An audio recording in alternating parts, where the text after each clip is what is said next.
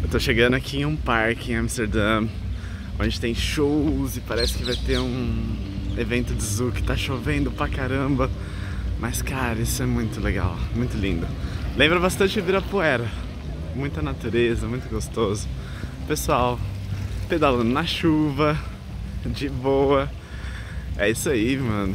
É assim que tem que ser, né?